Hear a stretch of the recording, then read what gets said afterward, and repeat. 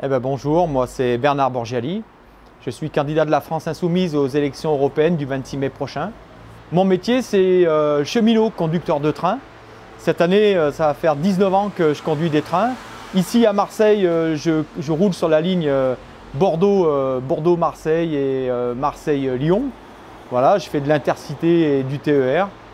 Et donc c'est un métier qui est à la fois prenant, aussi passionnant et euh, comme beaucoup de gens ont pu le voir, en, en train d'être complètement remis en question.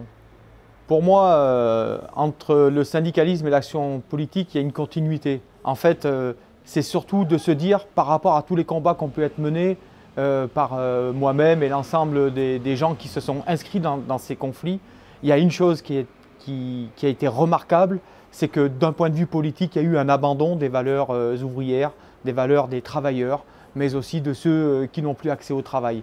C'est-à-dire que les institutions politiques ont été totalement dépossédées de ces valeurs, ou en tout cas de ceux qui se prétendaient les porter.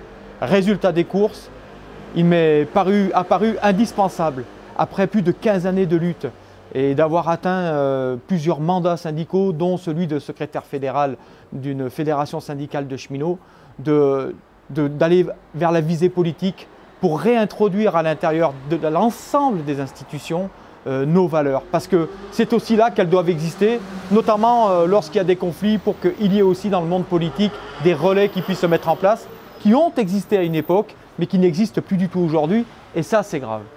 Alors, euh, nous sommes là au mois d'avril. Ça fait donc un an, quasiment jour pour jour, qu'a commencé une grande lutte à la SNCF qui durera trois mois au printemps 2018 et qui va être marquante. Mais en fait, cette lutte à la SNCF, euh, c'est une lutte contre les directives européennes avant tout, car euh, nous sommes passés sous le joug de directives européennes depuis l'année 91. Et depuis cette année 91, il y a eu plusieurs paquets ferroviaires qui sont un ensemble de directives et de règlements euh, qui se sont imposés à l'ensemble des services publics ferroviaires et particulièrement aux services publics ferroviaires français dont euh, le postulat est avant tout de totalement le libéraliser, donc entendez bien par là, de le privatiser. C'est ainsi que l'année dernière, à cette période, nous nous sommes retrouvés en lutte euh, unitairement avec l'ensemble des syndicats et avec un soutien quand même très partagé des usagers qui, malheureusement, voient aujourd'hui ce que ce diktat européen est en train d'opérer, une fermeture des lignes, en tout cas de celles qui considèrent qu'ils ne sont pas suffisamment rentables, une fermeture massive des gares, une préparation à l'ouverture à la concurrence, même si elle est fictive, mais à la fin, un usager qui y perd, et malheureusement, nous serons obligés de le constater, comme c'est arrivé en Angleterre ou dans les autres pays, il y aura une augmentation des tarifs, parce qu'à la fin, c'est toujours l'usager, excusez-moi, dans la bouche de ceux qui nous dirigent, les clients, qui payent. Il y a donc un combat qui, selon moi, n'est pas perdu, et que je veux continuer à poursuivre demain au Parlement européen, car c'est aussi un échelon dans lequel il va falloir amener la population à comprendre comment s'organise l'Union européenne, sa commission antidémocratique et surtout les chefs d'État qui décident et qui orientent ces politiques-là. C'est donc aussi nos dirigeants français qui sont responsables de la situation que nous vivons aujourd'hui, pour nous cheminots et pour l'ensemble des usagers. Ben, en fait, moi j'ai une analyse très clairement qui est celle d'un syndicaliste. J'ai toujours considéré que euh, le nombre faisait la force.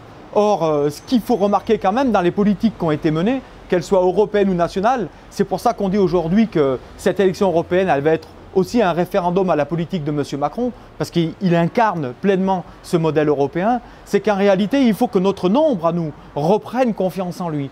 Parce que c'est à partir de là qu'on pourra arrêter ce rouleau compresseur néolibéral qui broie toutes les vies humaines sur son passage. Ça veut dire quoi? Ça veut dire que si demain on envoie des euh, élus, des, parlementaires de la France insoumise, dont je fais partie avec euh, mes camarades, c'est pour aller combattre euh, cette politique-là. Alors évidemment, il faut dire la vérité. Euh, Ce n'est pas à partir du 27 mai que les choses vont euh, immédiatement changer. Mais par contre, on va s'ajouter aux 17 députés de l'Assemblée nationale de la France insoumise.